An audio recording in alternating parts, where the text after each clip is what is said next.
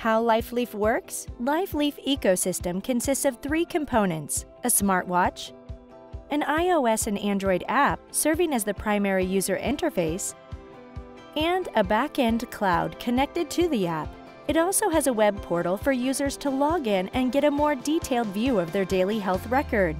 The LifeLeaf smartwatch has an optical sensor on its back, and using this sensor captures a clinically well-recognized signal called photoplethysmograph once every few minutes and computes primary physiological parameters, blood glucose, heart rate, heart rate variability, blood pressure, respiration rate, and oxygen saturation level in blood. These parameters initially get locally stored in the watch and over time get securely transmitted to the smartphone app through a low-power Bluetooth interface and eventually to the cloud, where resides for the longer term.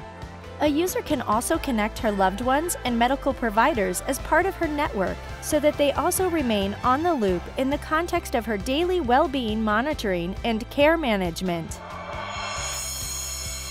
LifeLeaf. Your health at your fingertips.